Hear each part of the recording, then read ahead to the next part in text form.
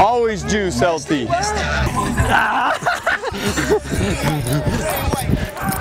hey! I like it. What? We need some. We need some old school songs, Siale. Take it easy. I don't know about that. So we take the tight end in case the wideout misses him, okay, or gets hung up. That's it. That's all working. Is the ability to run, come to balance, shuffle, shuffle without clicking our heels.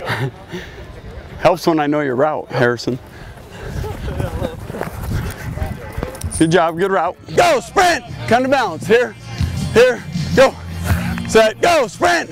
To tight ends, our two tight ends, as I've said, uh, together might be as good a tandem that I've been around, at least that I've been around uh, in, a- in a while. And you know, when you have uh, Murph and, and Wes, that's a pretty good group. So we got to develop a third one.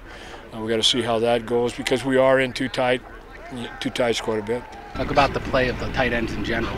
You, Wes, coming back this year, you guys seem to be a big part of the offense. Yeah, I mean, me and Wes, and uh, you know, even the the other ones, Siale and uh, you know, Greg Reese, Harrison, we all feel like we can uh, bring something to this team, and uh, hopefully they can utilize us. And uh, you know, we feel like we're pretty athletic uh, for our position and for our weight. So um, so far, it's been pretty good.